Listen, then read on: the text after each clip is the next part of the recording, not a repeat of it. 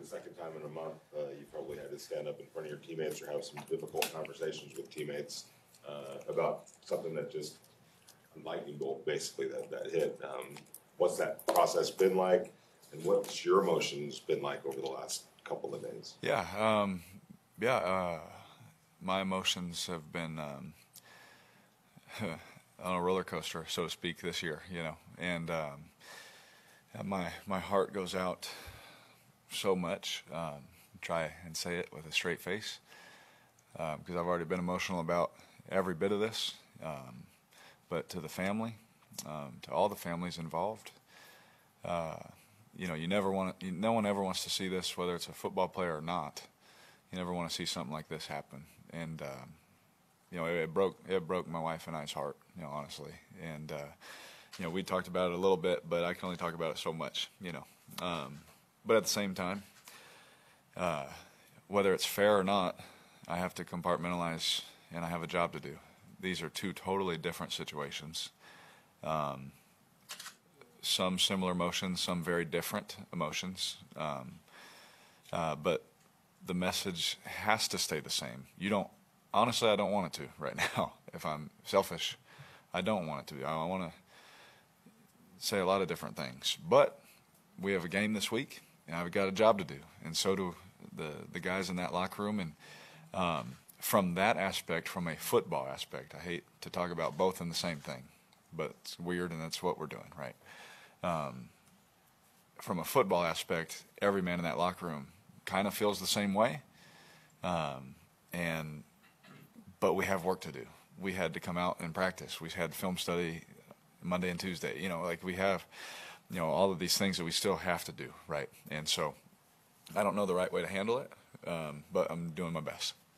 You've made a career out of game planning against difficult situations, but inexplicable tragedy doesn't really have much of a game plan. Uh, how helpless is that as a guy who wants to control?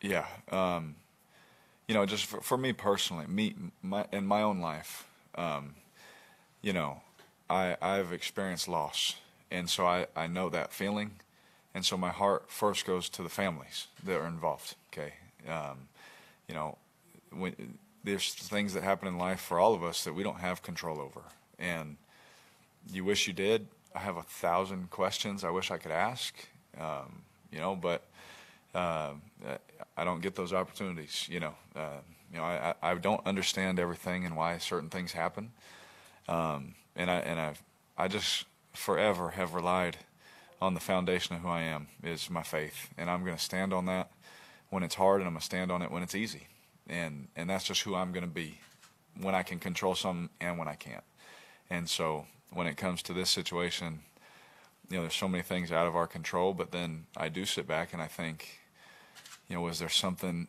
did I, you know, did I not, did I not let him know that he really could, I'd be there for him at 3 a.m., you know, that, you know, I, I'm, I want to be better, you know, um, I think I really look at everything in my life as a learning experience. Could I have been better, you know, to help or something, you know, I just, um, I just wish, I, I just wish I, I could have done something. You know, I, I, look at it that way. Could I have done anything to help? You know, even when it seems impossible, is there any little thing I could have done better? You know, and um, I know it's a crazy thing to even think or say, but I'm always looking at trying to be a better person.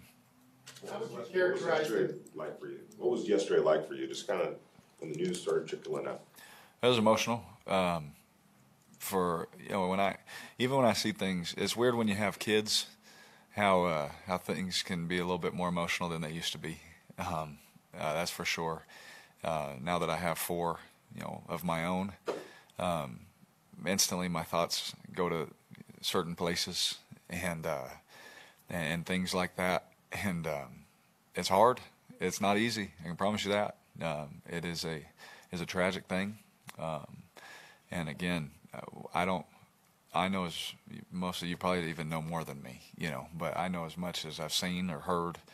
Um, I, but I, I really don't know the right thing to say to somebody. You know, I I try my best to be there in support of someone or be there for anybody if I knew who to be there for and all those things. But you know, my my thoughts, I guess, selfishly went to my own kids or my own family and you know, how do I, you know, how do I teach them? You know, uh, you know, how do how do I how do I take this and turn it into a learning experience? You know, um, and, and, things like that, uh, because no one, including Henry, wanted this to happen.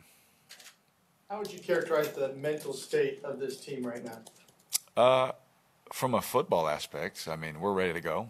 You know, we had a great practice. Um, you know, we're we're we're dealing with a lot of things this year. That's for sure. Um, a lot of guys, just what a crazy year. You know, I heard that a couple times. You know, um, I heard, goodness gracious, you know, like man, you know, just like, can we please nothing else? You know, um, not for our own sake, but just for the sake of everyone else. You know, just for everyone involved. You know. Um, but from a football aspect, from a competitive aspect, we're we're ready to play football. There's no doubt about that. Um, you know, we know where we're at um, from that from that standpoint, and we know what we have to do. We know that this was a time of year where we hit a lull a couple times, you know, and we can't let, let that happen, no matter what's going on. Man, I, me and nine one, me and Jan say it to each other every every day. Nobody cares, you know. At the end of the day, nobody cares what we're going through, how your body feels. Nobody cares. We gotta we gotta do our job and uh, we we emphasize that to each other again today. You know, hey, I got your back, you got mine. Nobody cares, man. We got to go. And before practice, during practice, after practice, you know, we're we're always just trying to push whoever's listening. That is it fair? No, um, because I want to have emotions about things. I want to think about things as a human being. You know. Um, you know, football is secondary when something like this happens. You know, this is we're talking about lives, and um, you know a lot of a lot of different lives and a lot of different situations. But for us, from a football aspect, our mindset is we are we're going to be ready to play. That's for sure. Just about how tragic this all is, uh, to kind of turn the negative to a positive. You sang the praise of Hunter Renfrow, you sang the praise of Zay Jones. Those guys are going to have to step up in a situation like this. Are you really excited to see what's going to what this is going to bring out of them?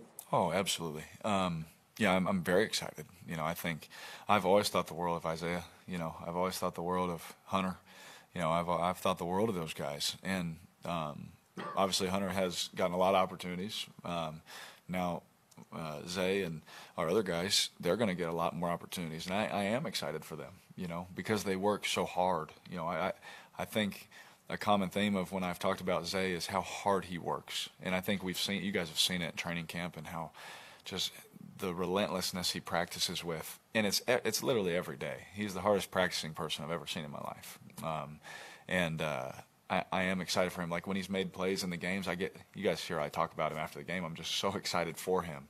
Um, now he has a very big role. Uh, the roles change, you know, in the NFL quickly, and his role has changed just along with some other guys. Roles are going to change, uh, but that it's still whatever your role is, do it to the best of your ability. And, you know, it's got to be like nothing ever happened. You know, when Darren Waller goes out and he says, I can't play, well, Foster Moreau has to step up and be the starting tight end. And he has a big day, you know. And it wasn't just because it just happened, it was because he's prepared for that moment. And I think Zay and all these guys have prepared for this moment.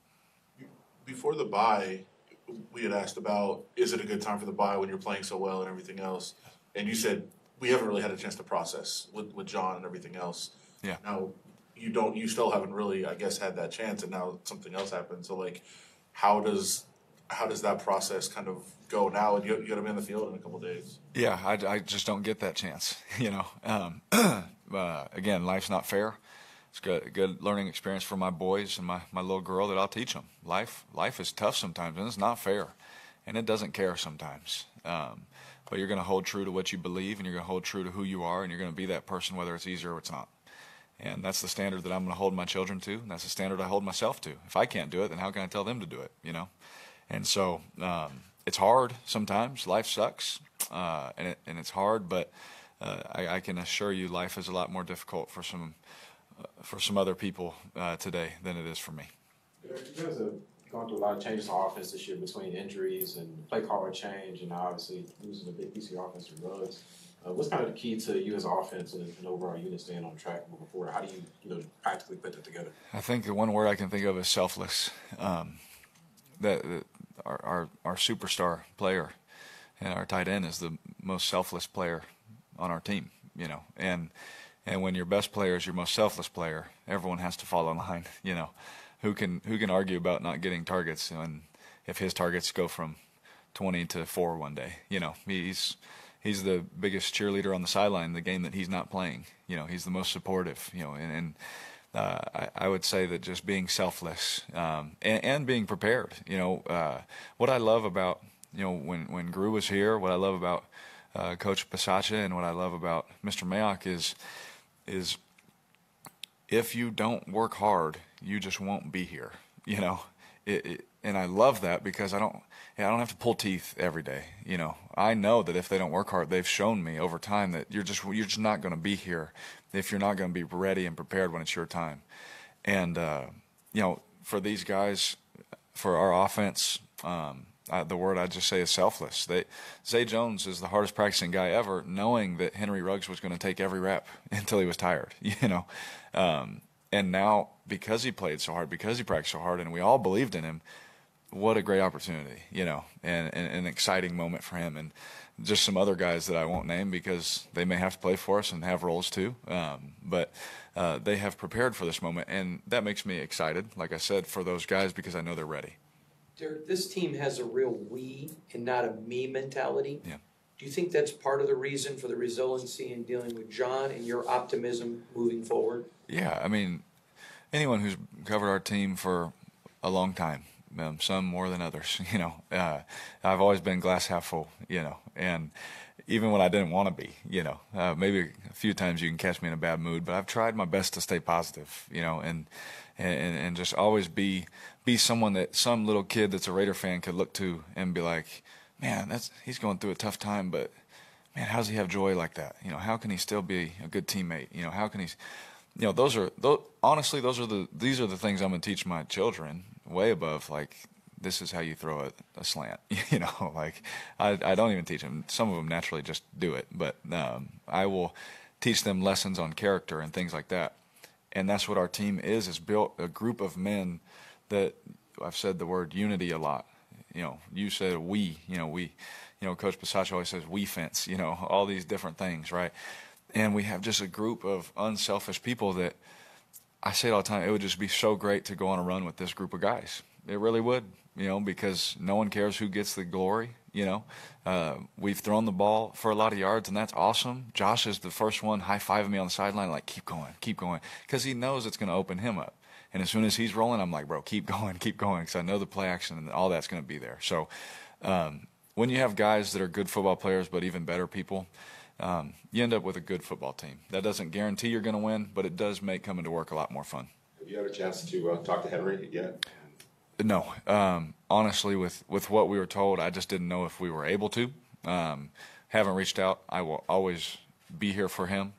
Um, that won't change, and I'll prove that over the course of time to him, um, not to anybody else. Uh, but uh, he needs people to love him right now. Um, he's probably feeling a certain type of way about himself right now, and he needs to be loved. And uh, if no one else will do it, I'll do it. Two more guys we go. in the ball. You, uh, you, you mentioned a little bit ago, you know, th- this time of the year has been a time you guys have had some lulls.